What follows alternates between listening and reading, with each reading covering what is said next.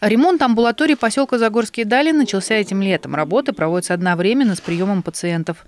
Второй этаж здания уже готов. Сейчас строители приводят в порядок первый.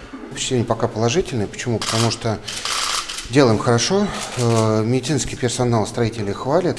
Все замечания, нюансы, которые бывает такое, да, что ну, какие-то мелочи, а где-то не мелочи, не вошли э, в проектно-сметную документацию, не были учтены при э, проектировании. Строители их слышат и помогают, и все исправляют. Поэтому это очень приятно, отрадно. Второй этаж готов, перешли работы на первый ну вот обещают 2-3 э, недели, тоже первый этаж будет полностью готов, детское отделение, то есть можно будет уже детишек принимать. Ремонт в амбулатории проводится в рамках целевой программы здравоохранения Подмосковья за счет средств, выделенных из бюджета области. Это порядка 8 миллионов рублей. В стоимость входит замена освещения, кровли, окон, внутренние отделочные работы. Вопрос по внешней отделке и входной группе тоже решен. Всего по областной программе в районе должны отремонтировать 7 амбулаторий.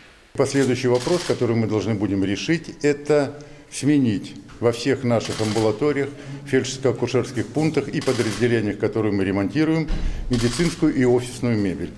Должен вам сказать, что это серьезная финансовая программа, она дорогостоящая программа, мы оцениваем около 40 миллионов рублей – но я думаю, нам удастся ее решить.